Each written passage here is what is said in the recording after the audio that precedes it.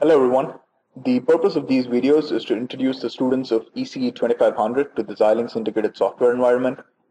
Instructions given in these videos should enable you to create a new project, create design files, run simulations on the computer to get output waveforms, and also to implement and download the design onto a evaluation board or the green board and work the switches, the LEDs, the buttons, and the seven segment displays to see whether your circuit is working or not. Now for this tutorial, the version of Xilinx that I'll be using is 13.1. If you're working with a different version, the layout of the software may be different, but the concepts are still going to remain the same. The example circuit that I'll be using in this tutorial basically consists of two AND gates, one OR gate and one inverter gate. There are different ways I can enter this design into Xilinx, but as far as this class is concerned, I'll be working with only the schematic as shown here, or be working with a programming language called VHDL as shown here. Okay, before we go any further, let me just give you an overview of the software itself. I can open up the ISE either by the shortcut placed on the desktop or through the start menu. The resulting window is going to be called the project navigator. So from now on, whenever your tutorial says project navigator, I'm referring to this whole window.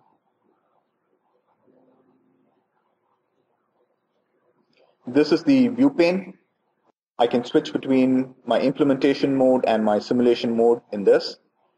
Down below that is my hierarchy pane.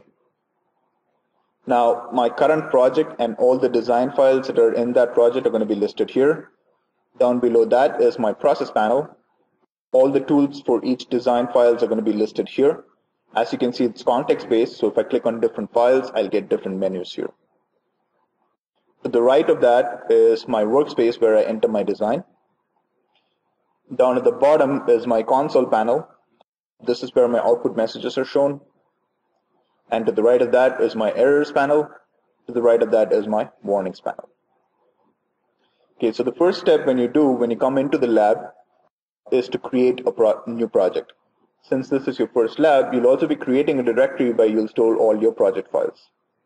So on your computer, go to C colon work.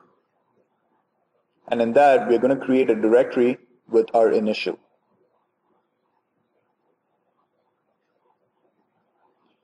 So once you create this, all your projects in this semester are going to be stored in that location. So for example, this is another directory and you can see here all my project files in one semester are stored in that folder. Now, if you do it this way, then you'll make sure that no one's messing with your project files and you're not messing with anyone else's project files. To create a new project itself, uh, let's go back to Project Navigator, click on File, New Project, and in the location, type the location that I created my directory in. So it's going to be work slash dn. For the name, choose an appropriate name. Since this is lab 2, I'm going to call this lab 2. Be very careful with file names. Xilinx is very picky. You can only start with the letter and only alphanumeric characters are allowed. The only special character that's allowed is an underscore. There are no rename options, so if you mess up, you'll have to start over again.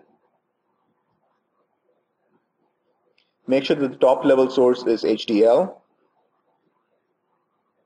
and then click on next. Now in this window is where you select the device that you're targeting for. This device is basically the one that's on the evaluation board. So if I look at the evaluation board and if I look at the the chip on the evaluation board, I basically have to enter this information onto the device properties window. That information is also available in your tutorial. So the family you'll select is XPLA3, the device XCR3064, package PC44, the speed grade 10. Make sure synthesis tool is XST. The simulator is Model Sim. The preferred language is VHDL. Now, once you set this up, the next time you create a project, these values are going to be the default values. Of course, uh, if someone changes it, then the values are going to get changed. So click on next and finish. Once you do that, an empty project is going to be created. As you can see, I don't have any design files here. I'll be showing you how to create the design files in the next videos. Now, if you want to actually target this project to a different device, I basically double click there and I can, my device property window opens up and I can basically select a new device if I want to target this to a new device.